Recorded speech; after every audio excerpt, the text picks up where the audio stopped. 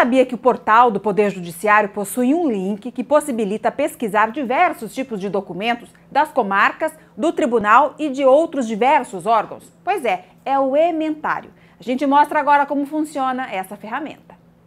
Ao todo, são 82 tipos de documentos disponibilizados no ementário, desde publicações antigas, como, por exemplo, o Código de Organização Judiciária de 1954, até as mais atuais. Nós temos é, toda a resolução do CNJ, nós temos provimento do CNJ, nós temos recomendação do CNJ e outras leis que saem, que é de interesse para a corregedoria, que a gente precisa verificar e distribuir para o juiz para desenvolver o serviço.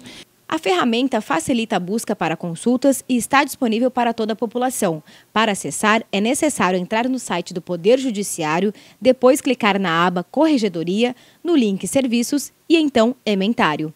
E aí ele faz a pesquisa né, joga palavras, o assunto, né, e clica no, na, no, na lupinha e ele vai pesquisar e traz as informações, que a, a, as decisões ou um provimento ou uma, uma resolução que você está precisando.